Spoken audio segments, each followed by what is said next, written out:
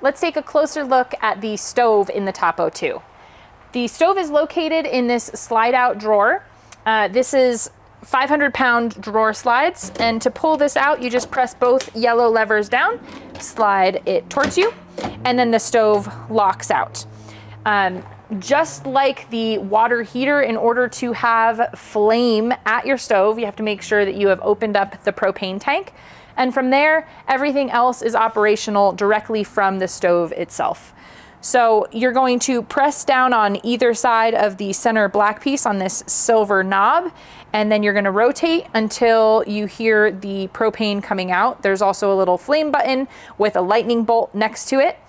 Now we're gonna hit the igniter, which is the button in the center, and the igniter is going to ignite the propane and then you can slowly release this knob once the flames have caught. From there, you can twist this dial to any setting, down super low or up high.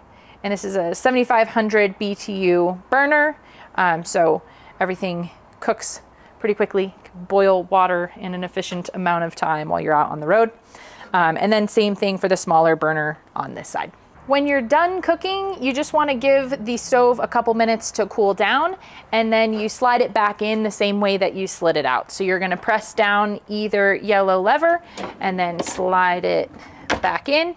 You just wanna make sure that these latches, these levers fully engage in the locked position um, once it's slid in. So just give that a, a good tug. You don't want this sliding around and bouncing in and out while you are traveling down the road.